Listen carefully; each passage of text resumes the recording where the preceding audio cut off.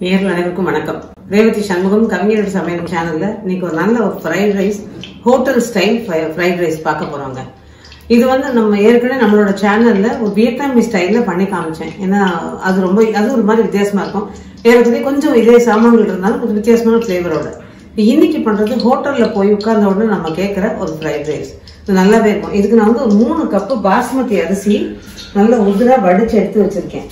இப்போ இந்த பக்கம் வந்து ஒரு கடாயில நல்லா எண்ணெய் வந்து ஒரு ஒரு கிட்டத்தட்ட ஒரு நாலு அஞ்சு டேபிள் ஸ்பூன் போட்டிருக்கேன். அந்த அளவுக்கு எண்ணெய் தான் நடக்கும். காய்கறியும் பார்த்தீங்கன்னா நல்ல ஒரு முட்டைகோசு ஒரு கா கிட்டத்தட்ட ஒரு கால் கிலோ முட்டைகோசு ஒரு பதினஞ்சு பீன்ஸு பெரிய கேரட்ல ஒரு கேரட்டு ஒரு சின்ன குடமிளகாய் இது நறுக்கி வச்சிருக்கேன். இப்போ ஒரு ஒரே ஒரு வெங்காயம் நறுக்கி வச்சிருக்கேன். இப்போ தாளிக்கும் போது பார்க்கலாங்க ஒரு அஞ்சாறு பல்லு பூண்டும் நசுக்கி வச்சிருக்கேன்.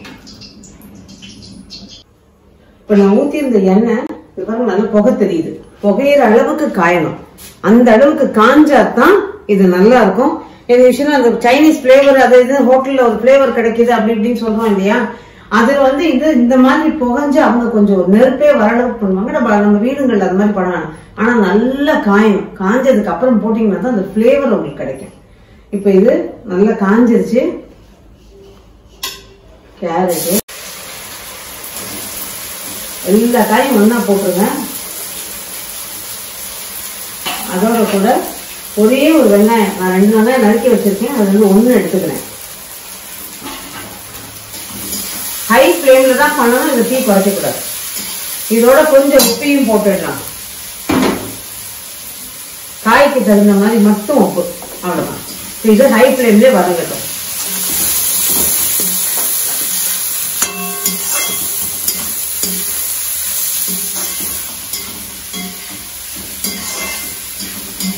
இதோடைய பூண்டையும் நம்ம சேர்க்கணும் அதையும் சேர்த்துருக்கேன். இந்த பூண்டை வந்து முதல்ல சேர்க்கறதுலாம் இல்லைங்க. காயோடையும் வெங்காயத்தோடையும் தான் சேர்க்கணும். அதோட அஜினோ மோட்டோ. இந்த அஜினோ மோட்டோ பத்தி ஒரு சின்ன கான்ட்ரவர்சி சேர்க்கலாம் கூடாது அப்படின்னா பட் என்னைக்காவது ஒரு நாள் இந்த சைனீஸ் சாப்பாடு நம்ம பண்ற போது இதை துளி சேர்த்துக்கிறது தப்பு இல்லை அப்படிங்கிறது என்னோட தாழ்மையான அபிப்பிராயம். தினம் வேண்டாம் நம்ம சாப்பாட்டுல வேண்டாம் என்னைக்காவது இந்த மாதிரி ஏதாவது பண்ணும்போது கொஞ்சம் சேர்த்துக்கலாம். அந்த வகையில் நான் சேர்த்துருக்கேன். வேண்டாம் நினைக்கிறவங்க அவாய்ட் பண்ணிடலாம்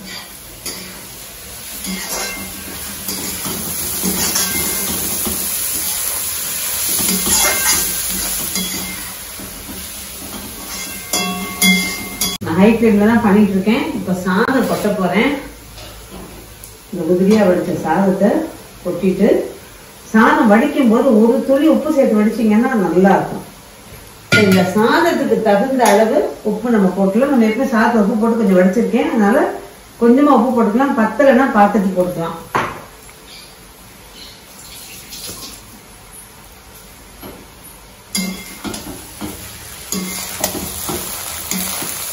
போயிடுச்சு வெள்ளை மிளகுத்தூள் பார்த்தீங்கன்னா தெரியும்.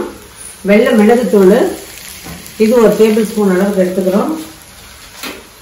சோயா சாஸ் கொஞ்சமா ஜஸ்ட் ஒரு ஒரு டீஸ்பூன் அளவுக்கு போதும். இப்போ நல்லா கலக்கியாச்சு. கலந்துட்டேன். அடுப்பையும் ஆஃப் பண்ணிட்டேன்.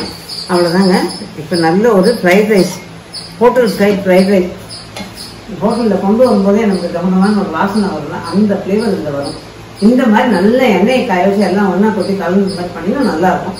இப்போ வந்து ஒரு சர்விங் பவுலில் அதை எடுத்துடலாம். இப்போ ஒரு ஃப்ரைட் ரைஸ் நல்ல hotel style fried rice ready பண்ணி எடுத்து வச்சிருக்கேன். சுட சுட சாப்பிட்லாம். பொதுவாக வந்து இதுக்கு மஞ்சூரியன் அதை எது சொல்லுவோம். மஞ்சூரியன் எடுத்துக்கலாம்.